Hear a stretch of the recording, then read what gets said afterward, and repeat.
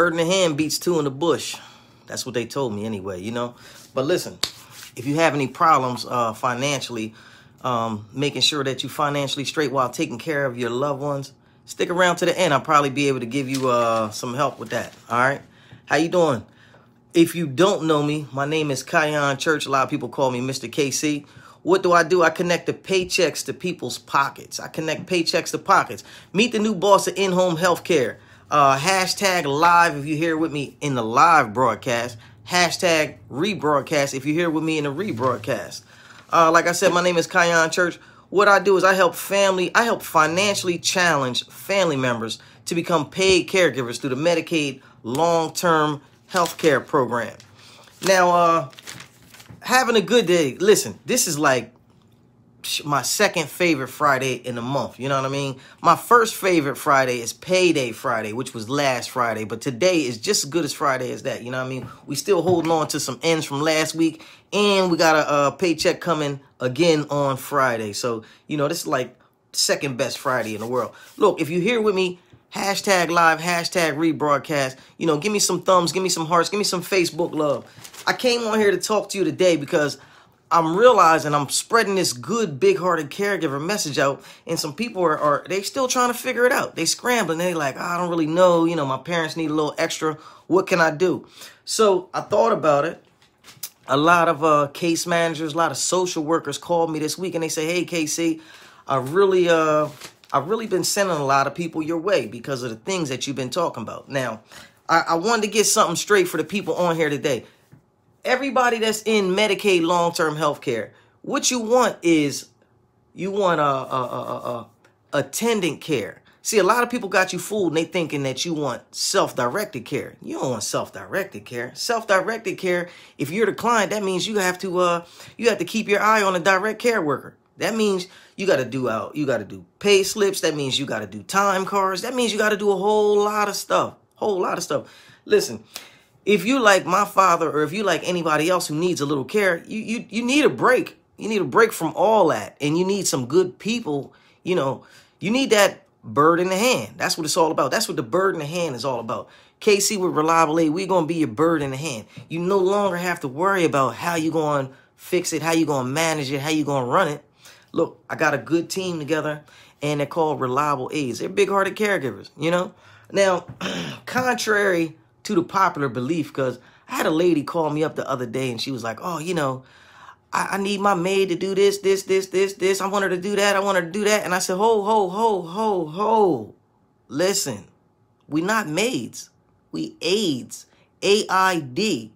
AID. We big-hearted caregivers. And we give the care to the people who need it, not to the greedy people who don't want to do nothing for their uh, for their relatives. They just looking for somebody to come in and uh and do their job.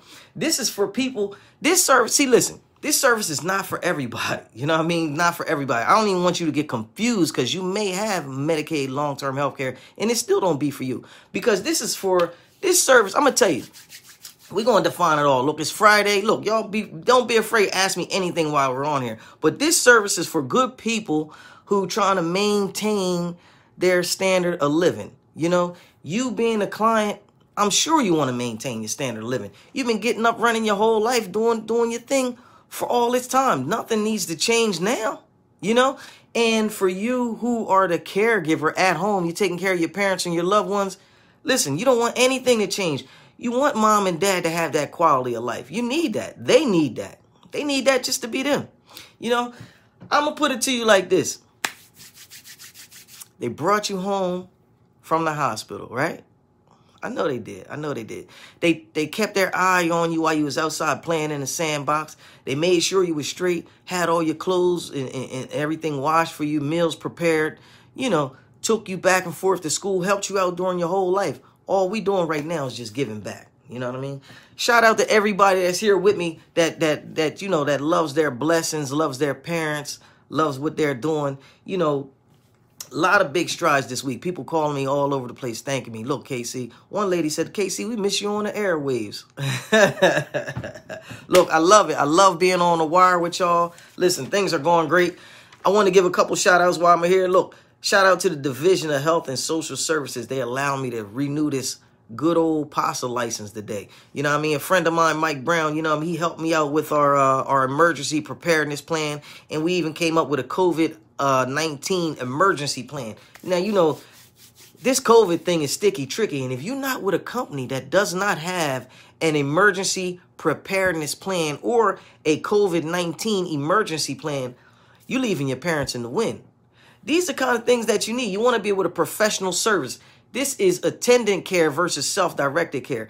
Once again, self-directed care, you got to figure it all out yourself. Who who got time for that? I ain't got time for that. If you got time for that, then you know, hey, you know what I mean? Do whatever it is you got to do. But if you don't have time for that and you want to cut to the chase, get straight to the bottom of the line, you know, with, with, with all the good help, Reliable Aid Inc. 302-689-3240. But look, before I leave you today, what I need you to do, I need you to go on anchor.fm forward slash the big hearted caregiver. Now look, I got a podcast over there.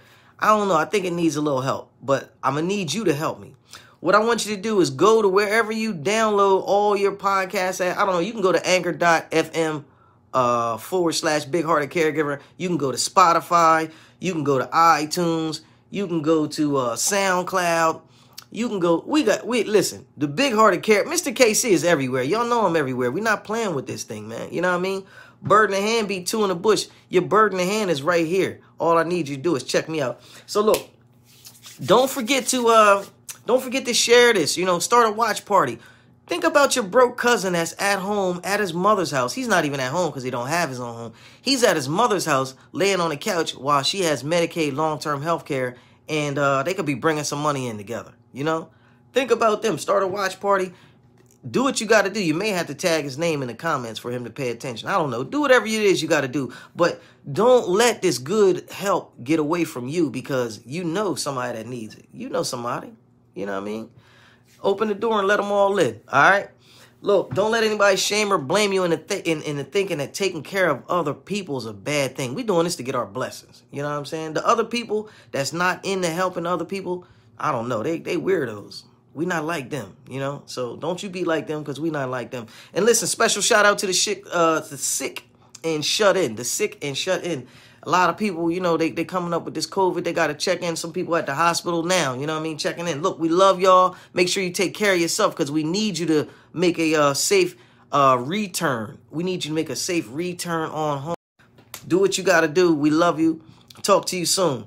Thanks. Don't forget to uh start a watch party, man. Share this thing. Throw some hearts, loves, you know, some uh whatever, all that Facebook good stuff. You know about it. Talk to you soon. Take it easy.